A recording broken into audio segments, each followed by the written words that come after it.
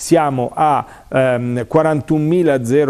eh, 41.007 positivi con un incremento di 1.592, quindi eh, eh, ce lo diranno ancora loro, oggi il dato non può essere considerato giorno per giorno, questo è un dato che oggi si riduce, eh, da, ieri eravamo a più 2.100, oggi più 1.600, quindi un dato che eh, evidenzia una riduzione. Il dato dei ricoveri 11.613, qui c'è invece un aumento, però appunto ehm, alla fine eh, ne, ne, dovremo fare una valutazione più ampia e strutturata, 461 rispetto a ieri.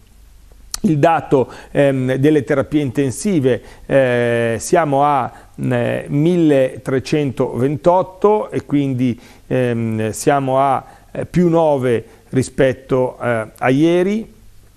i posti in terapia intensiva, pensate, oggi mi dicevano che siamo, abbiamo superato ampiamente i 1600 posti letto di terapia intensiva, siamo partiti da 724 e siamo arrivati a 1600 posti letto di terapia intensiva, qualcosa che non ha veramente paragone, io penso, in nessun altro sistema sanitario una capacità di andare non solo di raddoppiare, ma siamo oggi praticamente al 135-140% dei posti letto di terapia intensiva. Eh, il, continuano fortunatamente a crescere anche le persone dimesse, siamo oggi a 9.255, quindi più eh, 303 persone eh, che sono state dimesse, o forse scusate 293 persone che, che sono state dimesse